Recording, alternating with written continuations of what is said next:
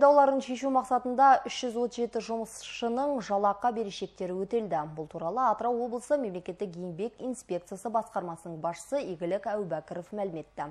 Өткен жылы еңбек қауіпсіздігінің сақталуын қамтамасыз ету бағытында 12 мекемеге сенім сертификаты беріліп, 122 ұйымдар мен кәсіпорындарда еңбек қауіпсіздігі және еңбекті қорғау жөнінде өндірістік кеңестер құрылған. Комиссия отырысында қаралған еңбек дауларын шешу мақсатында қабылданған тиісті шаралардың нәтижесінде 23 еңбек мәселесі, оның ішінде облыстың 14 кәсіпорнында еңбек ақы көтеру, сондай-ақ 26 өндірісте 337 жұмысшының 59,4 миллион теңге жалақы берешектерін төлету мәселесі шешімін тапқан. Енді мен бұрында айтып жүрмін, бізде министрлікпен тәуекел картасы қолданысқа енгізілді. Бұл тәуекел картасына тек қана тәуекелдер бар мекемелер енгізіледі. Өткен жылы 25 мекеме енгізілді бұл тәуекел картасында.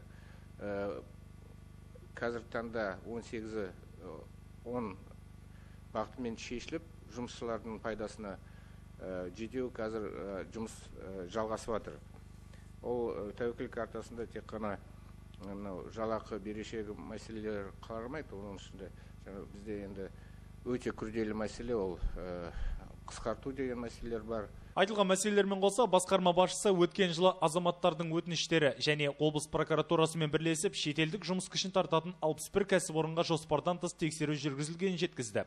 Нәтижесінде 33 шетелдік жұмысшы берілген рұқсатқа сәйкес келмейтін лауазымда қызмет атқарған. 59 шетел азаматының білімі атқарып отырған лауазымына сәйкес келмейтіндігі анықталған. Сонымен қатар 33 еңбекті қорғау және еңбек қауіпсіздігін 14 халықты жұмыспен қамту заңнамасын сақтамау деректері анықталып қажетті құқықтық шаралар қолданылған.